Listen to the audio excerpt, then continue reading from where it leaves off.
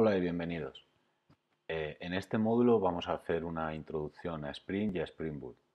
Aunque realmente el curso presupone que el alumno conoce Spring y nos centramos más en la explicación de Spring Boot y más en concreto en cómo hacer API REST eh, con Spring Boot y más tarde microservicios con Spring Cloud, Vamos a hacer una pequeña introducción a Spring y a Spring Boot y a sus conceptos principales eh, para entender mejor por qué hacemos lo que hacemos en los siguientes módulos.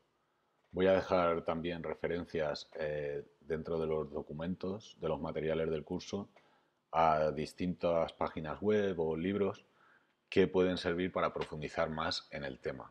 Pero con lo que vamos a explicar en este módulo eh, va a ser suficiente para eh, conseguir las implementaciones que vamos a hacer a lo largo del curso.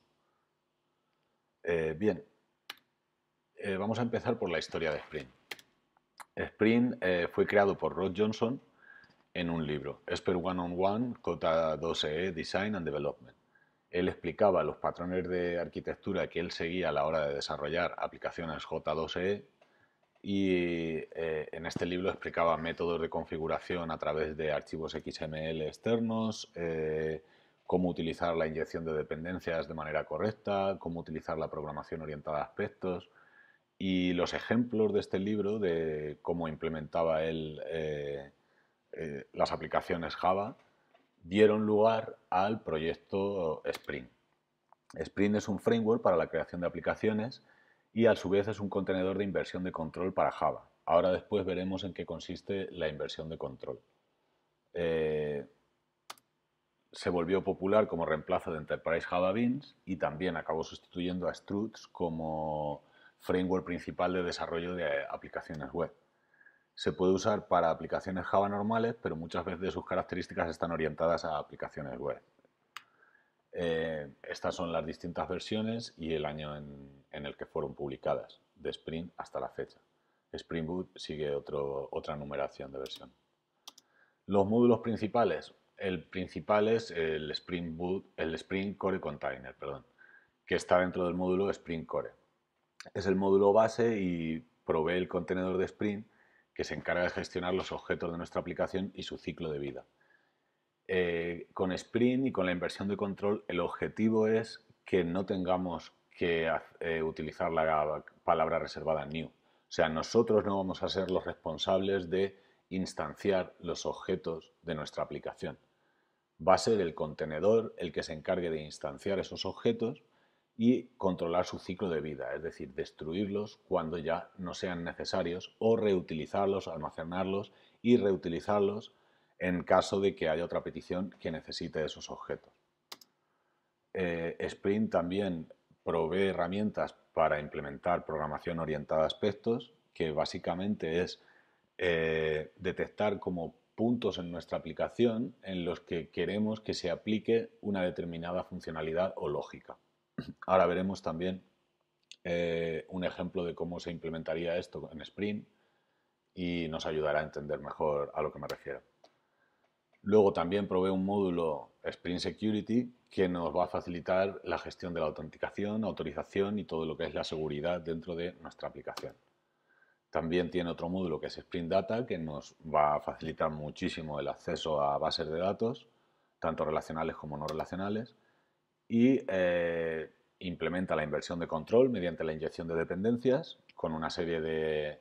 Podemos hacerlo con archivos de configuración XML, así es como se empezó a hacer, pero más tarde se empezaron a utilizar anotaciones y hoy en día se hace todo con anotaciones, ya veremos cómo se hace. Y luego provee también módulos de Convention over Configuration, como Spring Boot o Spring Road, que básicamente son eh, proyectos que eh, contienen dentro de sí una serie de módulos que nos van a proveer una serie de funcionalidades toda integrada. Por ejemplo, si nosotros necesitamos eh, hacer una aplicación web con seguridad y acceso a base de datos, pues va a haber tres módulos dentro de Spring Boot que van a ser concretos para eso. Para, eso. O sea, por ejemplo, Spring Web va a ser, vamos a descargarnos un proyecto padre de Spring Web que va a contener todas las dependencias que vayamos a necesitar para generar una aplicación web. vamos a tener otro módulo que van a ser Spring Data, eh, Spring Boot Data, que va a contener todas las dependencias que necesitamos para el acceso a base de datos y nos va a permitir generar aplicaciones de una manera muy rápida y muy sencilla. Y luego tiene Spring MVC, que son los controladores Model View, que al final son los que nos dan las funcionalidades necesarias para crear las API REST. Los conceptos principales. La inversión de control. Eh, la definición de inversión de control es un principio de diseño de software en el que el flujo de ejecución de un programa se invierte. En la inversión de control se especifican respuestas deseadas a sucesos o solicitudes de datos concretas. Esto significa que, según el principio de la inversión de control, si una clase necesita hacer uso de otra clase, eh, la clase que necesita hacer uso de esa otra clase no debería tener que especificar la implementación de la otra clase.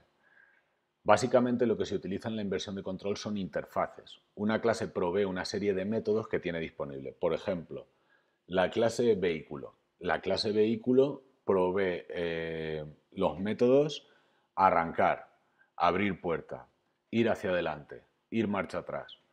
Todos esos métodos son eh, propiedad de la interfaz vehículo. Y esa interfaz la puede implementar un turismo, la puede implementar un camión, la puede implementar eh, una furgoneta. Todo eso son implementaciones de esa interfaz. Todos esos, todas esas clases de objetos van a contener esos mismos métodos y esa misma funcionalidad.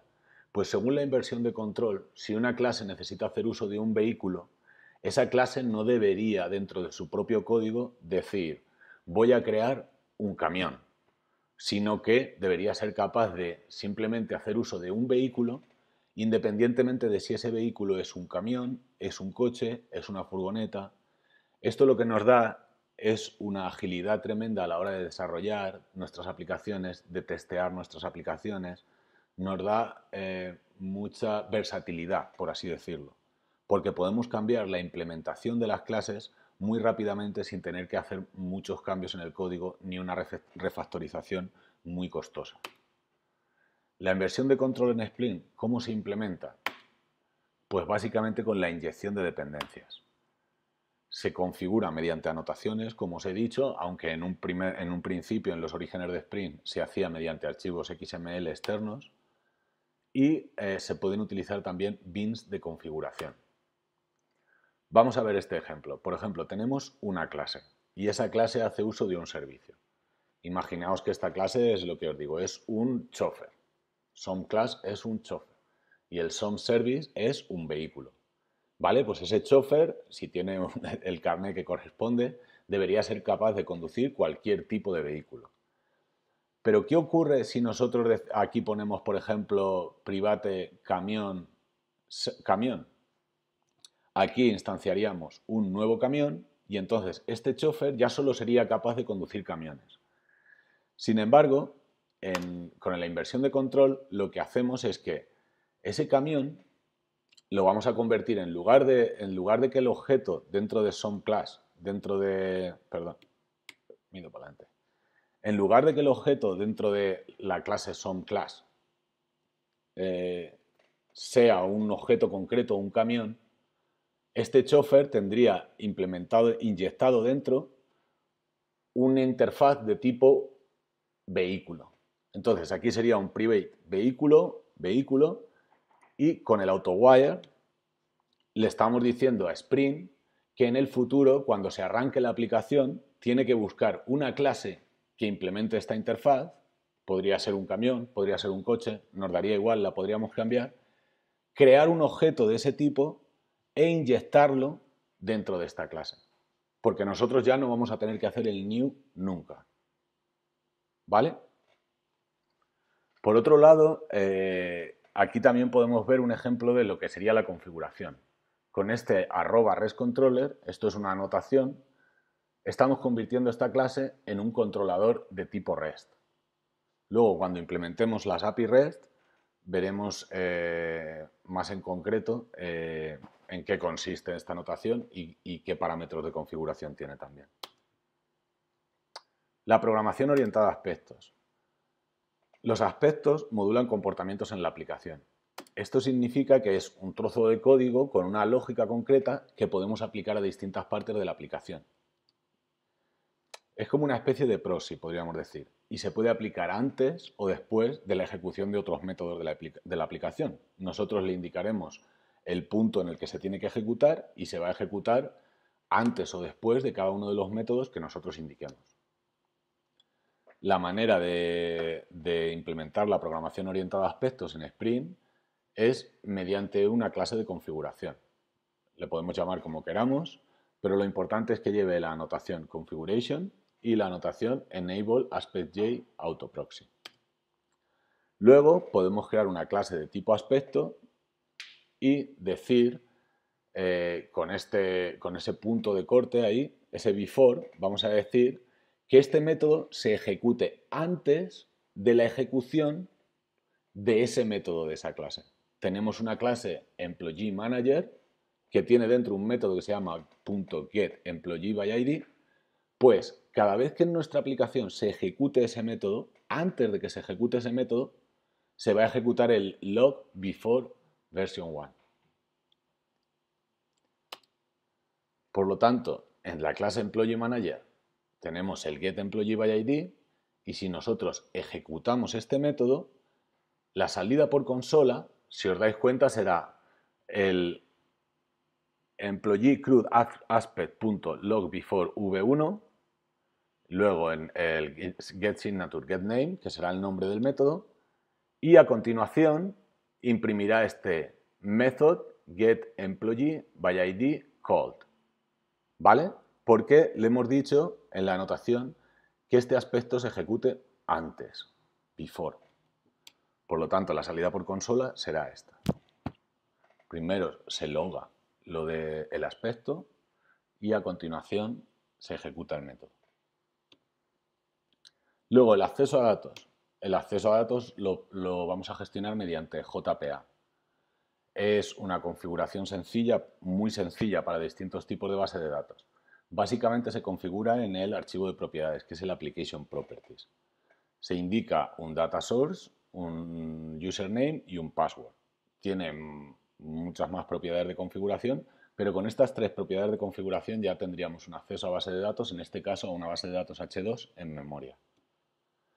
Luego el Model View Controller. Permite crear controladores, handlers y vistas para el desarrollo de aplicaciones web. Si os acordáis, la notación que hemos visto antes, la de REST Controller, como os decía, convierte una clase en un controlador REST. El SOMPath, en este caso, eh, que está entre comillas, sería la URL que apuntaría dentro de nuestra aplicación a este controlador. Luego, Spring Boot. Dentro de Spring se creó el proyecto Spring Boot. Es una solución de tipo Convention Over Configuration de Spring para crear aplicaciones de tipo standalone. Eh, crea, tiene eh, incluido un servidor de tipo Tomcat o Yeti embebido. Así que no necesitamos crear un WAR ni desplegarlo en otro servidor, sino que lo podemos ejecutar la aplicación como un JAR normal y ella automáticamente levanta un servidor de tipo Tomcat o Yeti y se despliega en ese servidor. Eh, tiene proyectos padre Maven que simplifican la configuración de Maven. Es lo que os he dicho. Tiene el, Spring Boot Parent, es el proyecto padre de Spring Boot que lleva el core de todas las dependencias que necesitamos para crear una aplicación simple y sencilla. Si luego añadimos el, Spring Boot eh, Parent Web, pues ese va a llevar todas las dependencias eh, que necesitamos para desarrollar una aplicación web y así sucesivamente.